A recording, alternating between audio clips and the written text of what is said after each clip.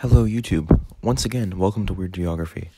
So, between the videos about my islands that I discovered, I'm going to be making educational videos about geography, history, government, and much more. Today's video is going to be 5 quick facts about geography. Number 1. 90% of the world's population lives in the northern hemisphere. Number 2. Inside Canada are over half of all the world's lakes. Number 3. The small island nation of Nauru has no official capital city. Number 4. China and Russia are both bordered by 14 countries. Number 5. The Amazon rainforest produces over half the world's oxygen supply. This has been another video by Weird Geography.